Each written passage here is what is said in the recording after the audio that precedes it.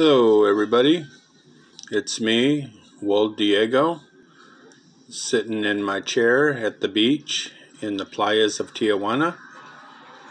It's a beautiful August, late August afternoon in beautiful Tijuana, Mexico.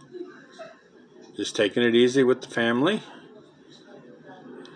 Got the umbrella, got the chair, got the beer.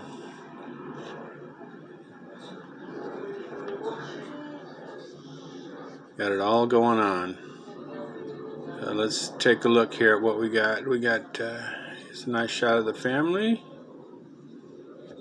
Okay, here we are at the swap meets. Selling. Very important to know how to sell.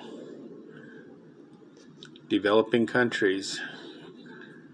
You just uh, set up a space in the street, pay your dollar or so fee to sell and sell away. No regulations, no taxes.